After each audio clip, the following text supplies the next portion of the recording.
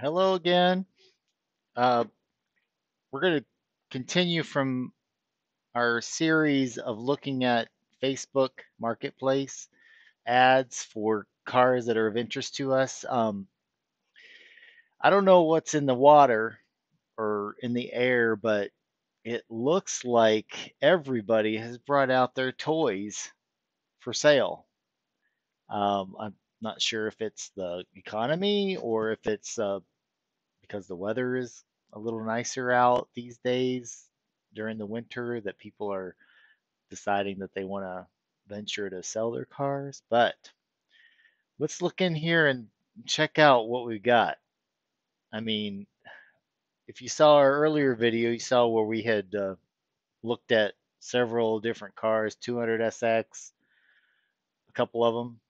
Uh, this Honda Civic Si 99 without any modifications. It was amazing. Check that video out.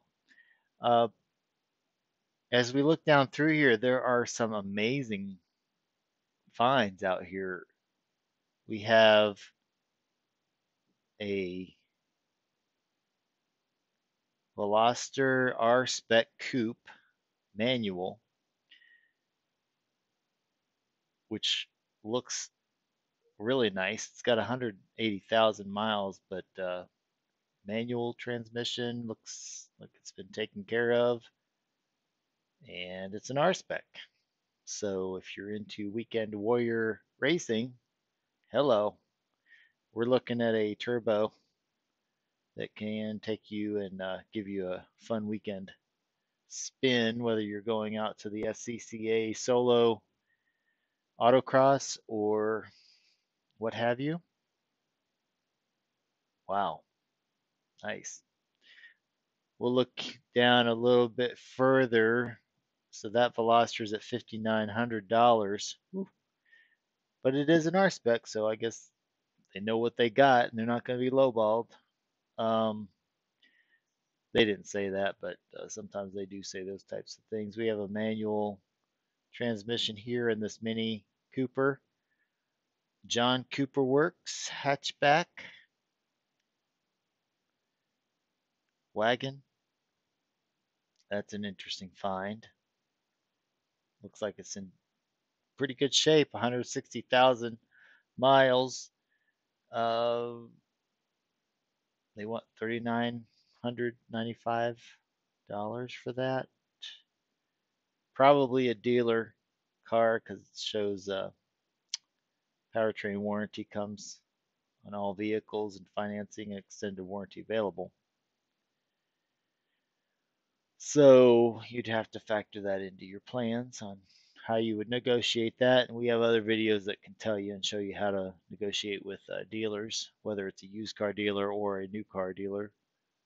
Um,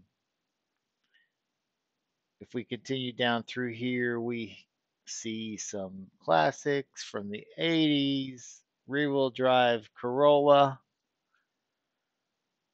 four door. But at this stage of the game, you take what you can get. This looks like a pretty decent car. $4,500, 331,000 miles. And um,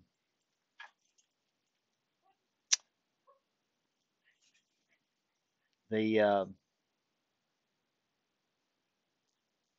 there was another one down in here that we saw. Look at this. Let's see this. A 1990 Honda Civic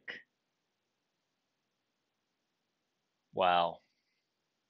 I'm telling you what, these people have brought out their toys for sale. Nice ones, too. As we go through these, you need to drop down into the comments what which one of these you would uh, most likely pursue. I'm looking at this 4Runner it's not a manual. I searched for manuals, but sometimes you get an automatic that comes up for some reason.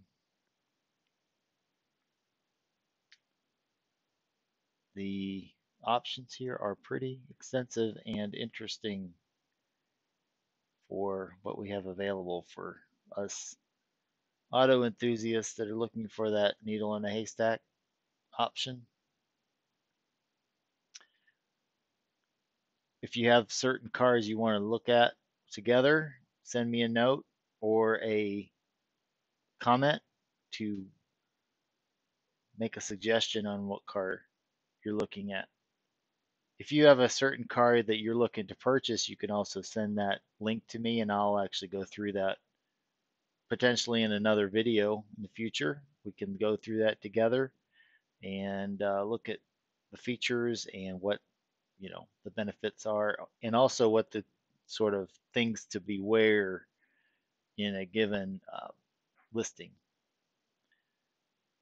So we'll finish out here looking at this 2016 Subaru BRZ, 49,000 miles, which is actually pretty low mileage for a car of that age. Clean manual transmission, does not look modified. So that is another interesting find albeit it is fairly pricey at $19,000. But if it's what you're looking for, maybe that's worth it to you. If it is, drop it in the comments. So we've gone through a few things here. Check back in a future video. We will sh be showing you what car we've pursued out of these, what we found out, and give you some further tips or pointers for how to vet out a car of your dreams that you see on a certain marketplace,